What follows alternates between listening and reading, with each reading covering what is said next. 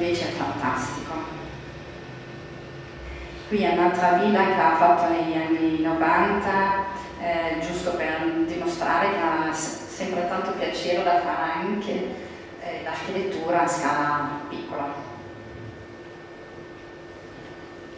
Invece ha avuto l'opportunità e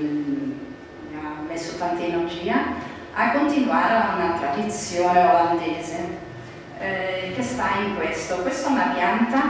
dell'estensione di, di, Amsterdam eh, negli anni 30 che è disegnato da Berlage. So che tutti di voi conosce, conoscete Berlage o dite Berlage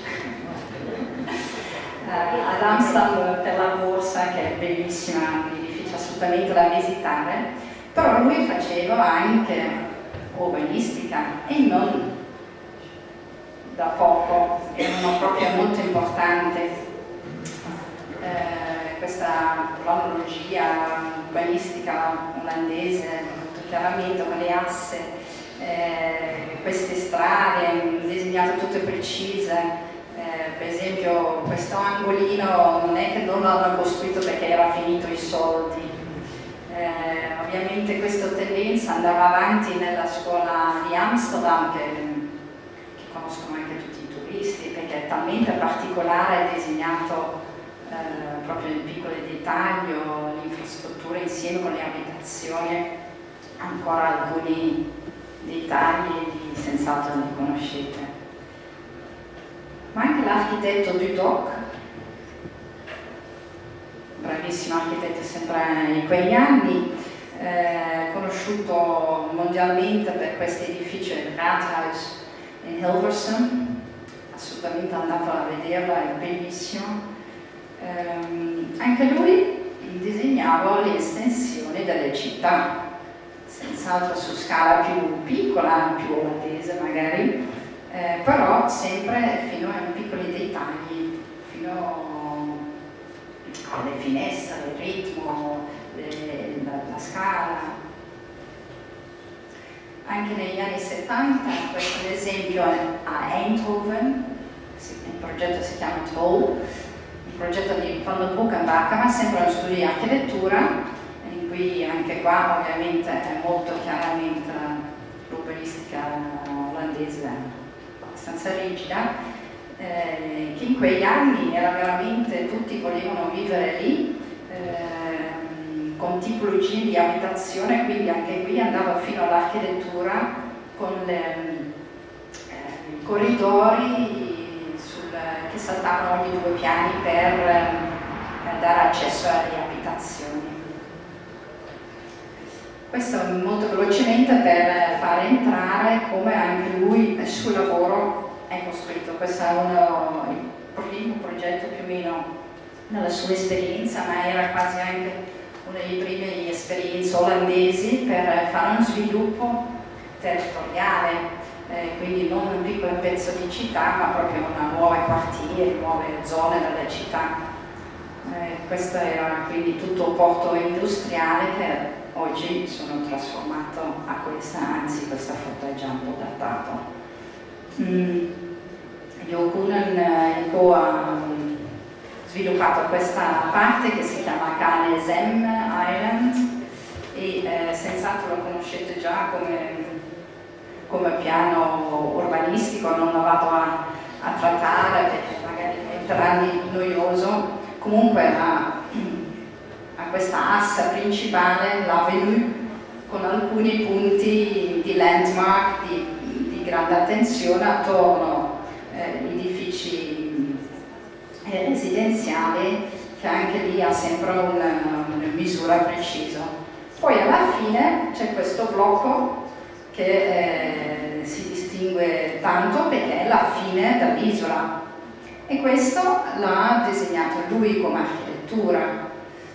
questo è uno schizzo molto futuristico,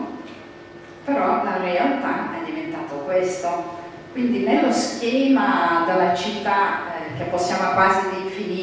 senz'altro per gli olandesi, eh, classico, con i blocchi, con i cortili, eh, molto europei, eh, disegna lui stesso come architettura, un'architettura molto più contemporanea. Venezia si chiama sì, lungo l'acqua, ovviamente sono delle posizioni, è una, un po' una macchina dell'abitazione, eh, questa è costruita nel 88 credo, quindi è già un po' di anni fa, però tutte le abitazioni hanno una vista fantastica. Eh, volevo far vedere un altro progetto già un po' datato, però molto interessante anche per questo tema, che è The Violence La Laia. È una strada in una zona sociale molto, molto difficile, molto conosciuto in Olanda eh, negativamente e è stato molto forte perché mh, con la riqualificazione di questa avenue, questa strada, con solo questa asse, ha potuto ridare socialmente e con l'architettura, per qualità di architettura, eh, delle nuove vite, un nuovo ambiente in tutta la, questa zona. Assolutamente adesso oggi ci passi, passi tranquillamente qua, non c'è problema. Quindi anche qui guarda com'era la strada originalmente, guarda indietro, guarda in futuro e ha sviluppato un, uh, un sistema, un abaco di facciate eh, che si poteva modulare da soli. Molto interessante perché così i costi per costruire sono rimasti mh, quelli che erano perché tutto poi in cemento prefabbricato nei mattoni quindi qua era proprio sviluppato un, un sistema per costruirti la strada se c'era bisogno di negozi, apertura oppure no, e così eh, hanno ricostruito tutto questo avenue. Qua un po' di foto appena costruita, c'è ancora cantiere, però si vede eh, tra l'altro interessante apertura di finestre, gli olandesi soprattutto negli anni 80 assolutamente non sapevano disegnare i buchi nelle facciate, eh, però eh, prefabbricati, social housing. Eh, il prossimo progetto è Swing Ceramic, come diceva anche già Paola, molto conosciuto, di Okunen, eh, però lo stesso è ancora suoi progetti molto importanti, dalle sue esperienze che ha fatto cioè, vediamo una foto dalla zona com'era, quindi era tutta una 23 ettari di industrie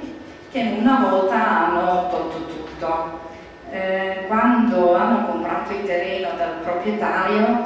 dal direttore di questa fabbrica, eh, hanno chiesto al allora giovane Yokunen di disegnare un piano per un nuovo quartiere e non poteva nemmeno visitare il posto perché sennò il direttore potrebbe avere naso dal fatto che magari aveva tanto valore. Quindi i primi schizzi che qui vediamo li ha disegnato proprio nel suo piccolo studio che allora l'abbiamo ancora, eh, da una foto dall'aria.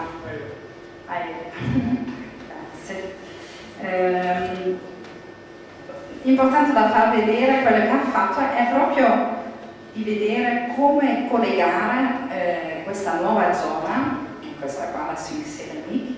con la città esistente. Ovviamente qua non hanno disegnato tutta la città, ma i percorsi principali eh, pubblici. Quindi qua la Market Square, eh, qui c'è una grande piazza famosissima, una street con la chiesa, e qui c'è un'altra piazza di Vizioso con un'altra chiesa importante e ha concluso subito che ci voleva un altro collegamento sopra il fiume, un ponte. Questa ponte l'hanno anche realizzato, ci ha dovuto parlare tanto con tutti, però eh, era più che altro importante far vedere queste immagini eh, perché già nei primi schizzi aveva eh, preso posizione che fino alla fine li ha contenuto, come anche questo verde, che magari vediamo meglio in questa immagine, questo verde eh, ha avuto tanti problemi con i developers, perché qui i developers avevano pensato di avere delle belle abitazioni, delle torri che addirittura stavano magari sopra l'acqua, sopra il fiume de Mas. Invece per io importante da specchiare il verde, questo è un parco importante all'aspetto, dall'altra parte del fiume. Giusto perché già nella memoria di tutte le persone che vivevano alla città, questo percorso era già, eh, esisteva già prima, era lungo le, le mura della fabbrica. Quindi a domenica qua passavano le persone e ancora oggi possiamo vedere che lo fanno